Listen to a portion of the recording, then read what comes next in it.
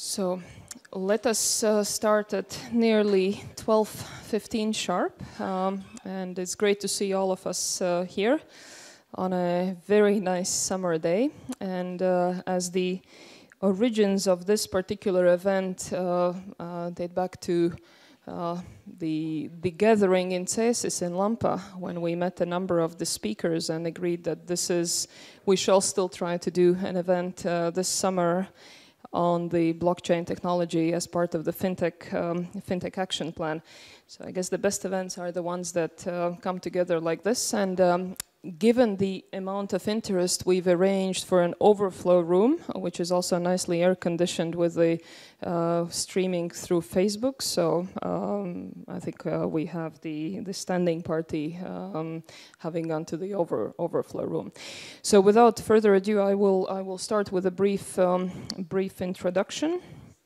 Um, and um, first of all, um, tremendous thanks to the uh, representation of the European Commission for hosting us here today, and uh, to our partner uh, Eversheds Bitāns uh, law offices uh, for supporting uh, the event. And the event would not be possible without the partnership of a number of institutions, including Latvijas Banka, um, the uh, Estonian Banking Association, the two blockchain associations uh, of Latvia, which I heard over the initial coffee, have now agreed to merge. Uh, so that's uh, very good news for all of us looking for a strong partner in the blockchain space uh, space here. Um, in terms of the priorities of the uh, Finance Latvia Association, which has uh, itself uh, uh, come into existence on July 12th when the members of the Association of Latvian Commercial Banks voted to uh, expand um, the activities of the association and to to change also the name befitting to the, the way we've actually been working over the last year, which is bringing together a range of industry players in the finance related uh, services and, and the technology to put in action the vision of Latvian financial services being the um, being at the forefront of both the cooperation and the digitally savvy uh, service provision uh, across the banking union, which is um, which is the second largest banking market uh, in the world.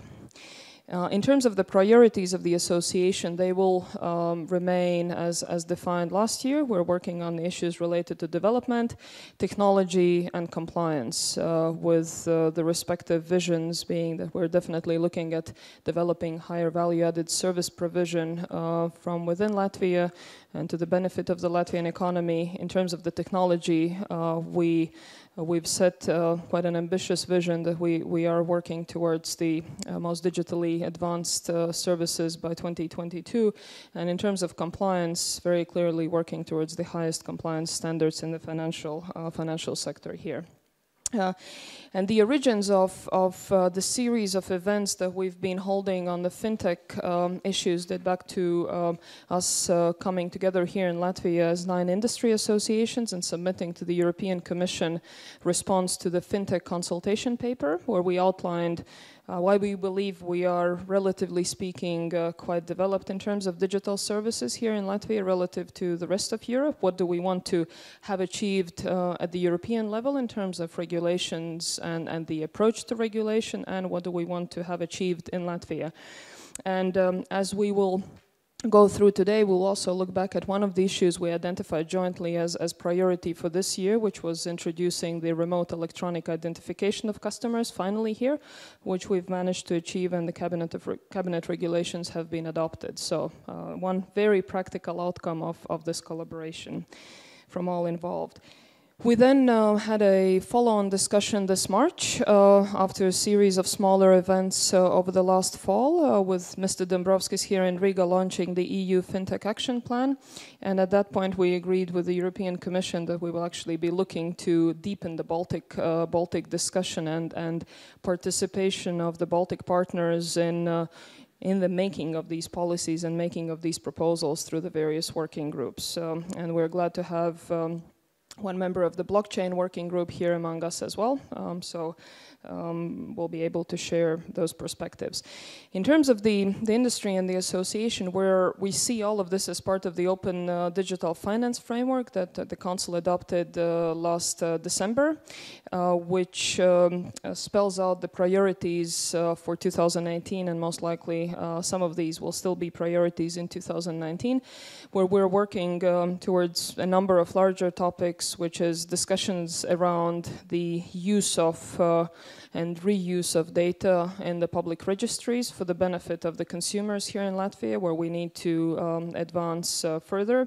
So uh, there might be, um, you know, maybe down the road, some of the ideas that uh, come through today's discussion actually help uh, towards this uh, this effort. Um, there's a lot, lot still to be done around sharing of the information between private and private parties and private and public parties, uh, again, for the benefit of the, of the consumers. We mentioned the electronic, remote electronic identification, which we're glad, at least in terms of the framework level, has been set out.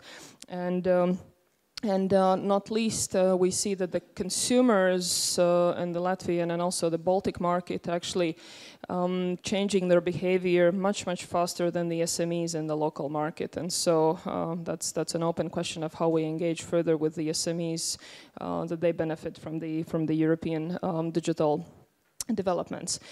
And so in terms of the agenda today, uh, we've set out to have a keynote um, address by Mr. Zilgalvis as the co-chair of the EU FinTech uh, Task Force, and we're glad that um, we will uh, will have a a number of uh, um, other presentations to stimulate the discussion that will uh, be moderated by Mr. Zilgalvis. Um, that will then be uh, uh, followed by the coffee break, after which we will delve into one specific um, policy development that I already mentioned, which is uh, introduction of remote electronic identification for the Latvian financial uh, sector players and the framework conditions that the Cabinet of Ministers regulations set out. So as we were um, heavily involved uh, in, in drafting these regulations, of course, with the Ministry of Finance, Ministry of Justice, and the Financial Capital Markets Commission. We felt that broader knowledge on the market of how the different provisions came about uh, will only be, be helpful for speedier, uh, speedier adoption of these practices. And, um, and uh, in terms of um, some of the practicalities, the event is on record. We are being broadcasted uh, on the European Commission representations uh, Facebook uh, page. We're also will be looking to uh, use uh, certain bits and pieces from the discussion for policy discussion purposes later throughout the, the year. And um, also importantly, we, um, we've um, we've set out to um, consolidate the ideas emanating from the discussion and, and see how we will uh, feed these into uh, the discussions at the Latvian and the, and the EU level going forward. So with that, let me pass on to uh, Mr. Zilgalvis for the keynote address and we'll take it forward.